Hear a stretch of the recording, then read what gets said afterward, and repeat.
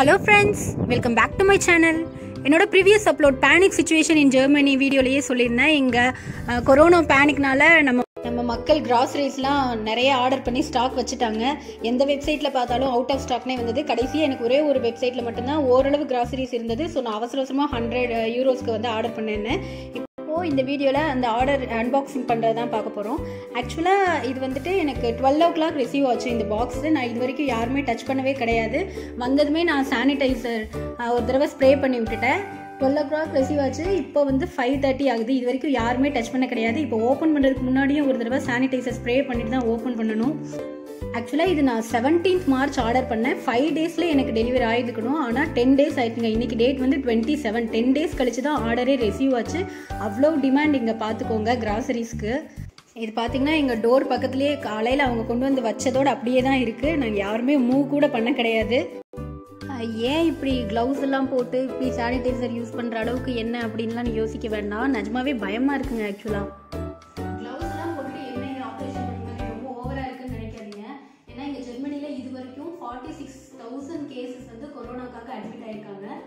எப்படி இவ்வளோ ஸ்பீடாக ஸ்ப்ரெட் ஆகுதுன்னு சொல்லவே முடிய மாட்டேங்குது. ஏன்னா ஜென்ரலாகவே இங்கே சோஷியல் டிஸ்டன்சிங் அதெல்லாம் மெயின்டைன் பண்ணிட்டு தான் இருப்பாங்க. பஸ்ஸில் போகிறனாலும் சரி அவ்வளோ கூட்டமாக இருந்தாலும் ஒருத்தருக்கு ஒருத்தர் டச் பண்ணாமல் இடிச்சுக்காம ஒரு கேப் விட்டு அந்த மாதிரி தான் ஜென்ரலாகவே போயிட்டு இருப்பாங்க. இப்போ சொல்லவே தேவையில்லை. எல்லாருமே அந்த டிஸ்டன்ஸ் கீப்பப் பண்ணிட்டு தான் இருக்காங்க. நாங்கள் இப்போ நியூ ஹோம் வந்து இப்போ ஷிஃப்ட் பண்ணியிருக்கோம். நெட் கனெக்ஷன் கொடுத்துருக்க கொடுக்கறதுக்காக இது ஆக்சுவலாக வீட்டுக்கு ஒரு பர்சன் வந்தாங்க. அவர் உள்ளே என்ட்ராகும் போது கேட்குறாரு உங்கள் வீட்டில் யாருக்காவது பிரச்சனை இருக்கா? இருமல் இந்த மாதிரி ஏதாவது பிரச்சனை இருக்கான்னு கேட்டு கன்ஃபார்ம் பண்ணிட்டு தான் வீட்டுக்குள்ளேயே வந்தார். அந்த அளவுக்கு மக்களுக்கு அவேர்னஸ் இங்கே எல்லாருக்குமே இருக்குது ஆனாலும் எப்படி ஸ்ப்ரெட் ஆகுது அப்படின்னு பார்த்தா நமக்கு தெரியாமலே நம்ம பண்ணுற ஏதாவது சின்ன சின்ன மிஸ்டேக்ஸ்னால தான் இருக்கும். ஸோ அதுக்காக தான் ரொம்ப கேர்ஃபுல்லாக இருக்கணும்னு ஒரு பயத்தினால தான் இதெல்லாம் ஆக்சுவலாக சானிடைசர் நிறைய அப்ளை பண்ணி பண்ணி என்னோட கையெல்லாம் ஒரு மாதிரி ஆயிடுச்சு.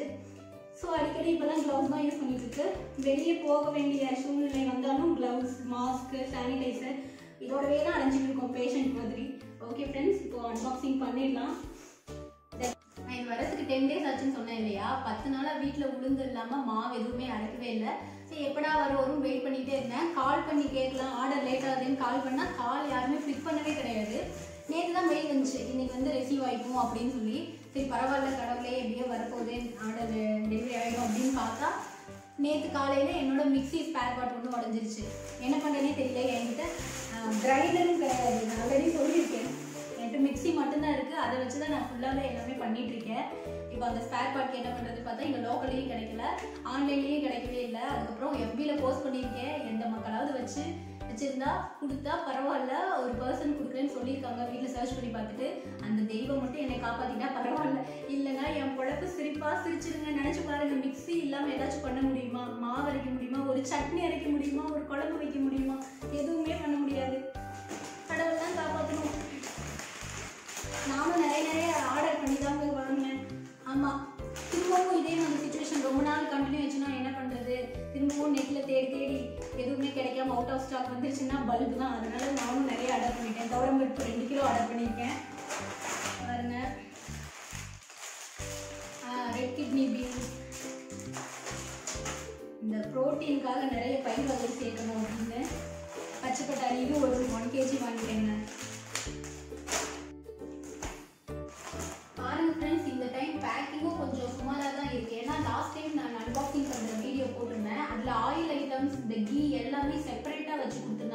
பாக்ஸில் ஆனால் இந்த டைம் எல்லாமே மொத்தமாக போட்டு கொடுத்துட்டாங்க. அவ்வளோ ஆர்டர்ஸ் இருக்கு போல அவங்களால சமாளிக்க முடியலன்னு நினைக்கிறேன்.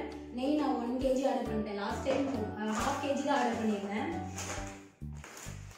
பிரியாணி மசாலா ஃபுல்லாக நான் ஊர்லேருந்து கொண்டு வந்தது காலி ஆயிடுச்சு. ஸோ பிரியாணி மசாலா வாங்கியிருக்கேன். வெண்ணிலா எசன்ஸ் கேக் பண்ணும்போது தேவைப்படுன்னு சொல்லி வாங்கியிருக்கேன். வீட் ஃப்ளோர் வாங்கியிருக்கேன். ஒன் கேஜி இது நிறைய வாங்கினா ஸ்பாயில் ஆகிடும் இல்லையா? அதனால நான் அளவாக தான்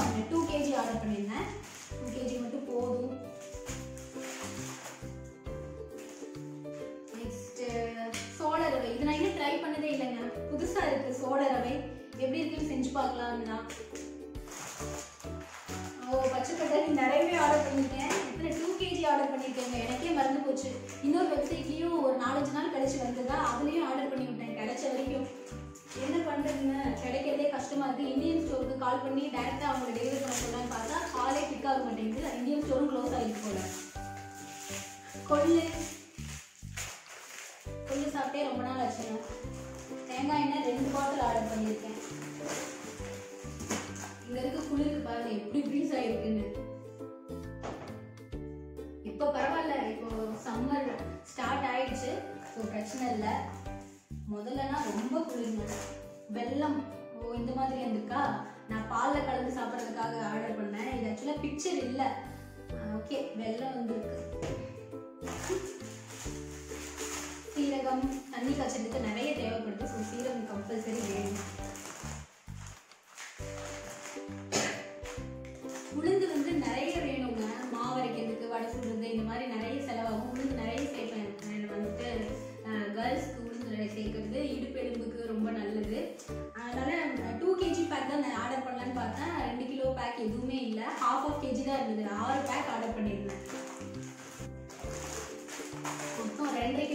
கிலோ ஆர்டர் அரை கிலோ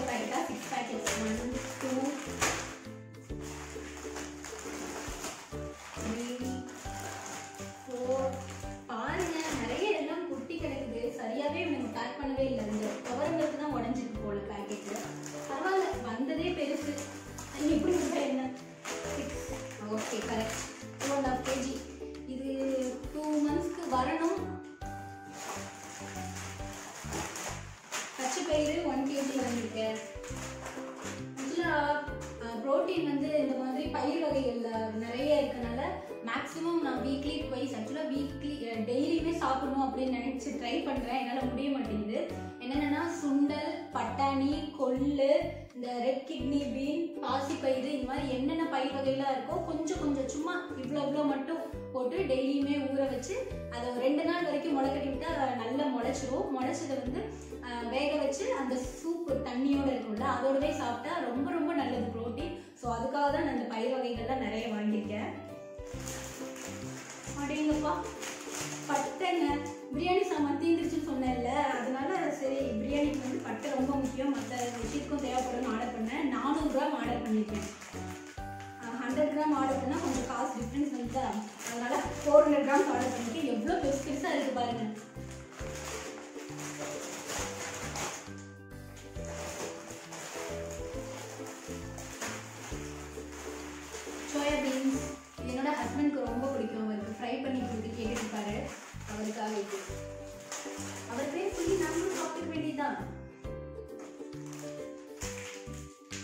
கரம் மசாலா ஊர்ல இருந்து கொண்டு வந்தது காலி ஆயிடுச்சுங்க நல்லெண்ணெய். தேங்காய் எண்ணெய் வாங்கியாச்சு நல்லெண்ணெய். கடலெண்ணெய் தாங்க இங்கே கிடை கிடைக்கவே மாட்டேங்குது. கிரவுண்ட் ஆயில் எங்கேயுமே கிடைக்க மாட்டேங்குது. இந்தியன் ஸ்டோர்லேயே போனோம்னா ஏதாவது ஒரு ஒரு ஷாப்பில் தான் இருக்குது. எல்லா ஷாப்லேயுமே கிடைக்கிறது இல்ல. அரிசி மாவு. ஏதாவது ஸ்நாக்ஸ் செஞ்சு சாப்பிடணுங்க. ஒரே கொடுமையாக இருக்குது கண்டிப்பாக உங்கள்கிட்ட சொல்லியே ஆகணும். நம்ம இந்தியன் ஸ்டோரில் தானே நம்ம ஊர் ஸ்நாக்ஸ் எல்லாம் கிடைக்கும். அதுலேயும் ஹால்திராம்ஸ் அந்த பிராண்ட் வந்து நிறைய நிறைய அஜினமோட்டோஸ் கலந்துருப்பாங்க ஸோ அதை நாங்கள் கண்டிப்பாக வாங்கவே மாட்டோம். இப்போ இங்க லோக்கல்ல வெறும் சிப்ஸ் மட்டும் தான் காரமாக காரமா அது மட்டும் தான் வாங்கி சாப்பிட்டுட்டு இருக்கோம். லேஸ் மாதிரி அந்த மாதிரியான சிப்ஸ் அது உடம்புக்கு கெடுதல் நல்லா தெரியும். ஆனா வேற வழியே இல்லை. சாப்பிடுறதுக்கு எதுவுமே ஸ்நாக்ஸ் இல்லைங்க. அதனால அரிசிமா வாங்கியிருக்கேன். ஏதாவது செஞ்சு பார்த்து ட்ரை பண்ணி சாப்பிடணும்னு.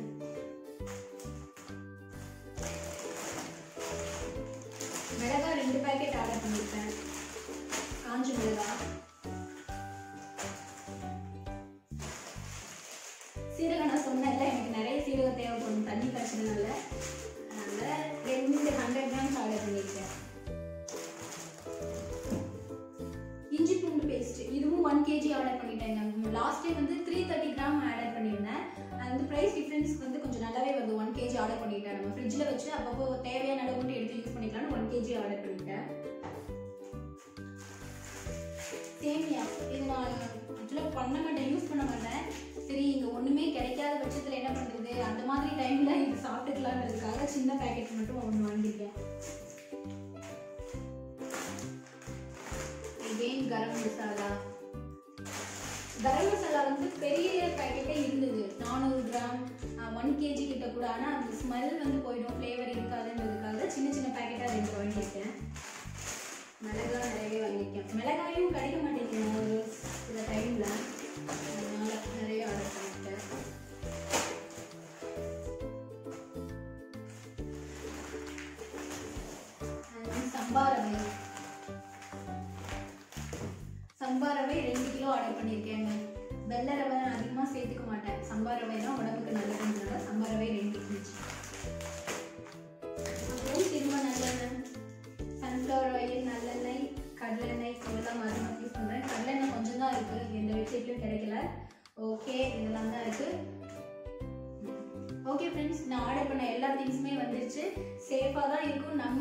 நம்புறேன் எல்லாம் போட்டு தான் ஓப்பன் பண்ணியிருக்கேன்.